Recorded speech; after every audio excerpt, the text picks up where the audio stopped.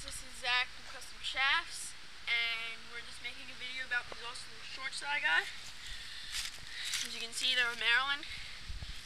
Uh, I got them at Lax World uh, yesterday. They're about 45 bucks, and as you can see, they have Maryland flag on the side, and they have lacrosse sticks all over them.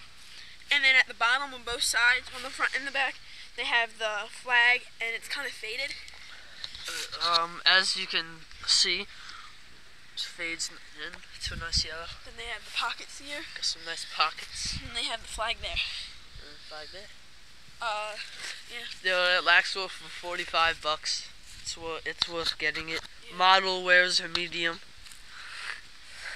Alright, anyway, uh, please rate, comment, and subscribe. Like us on Facebook uh, at facebook.com slash custom shafts. We'll be having monthly contests. Alright, see ya.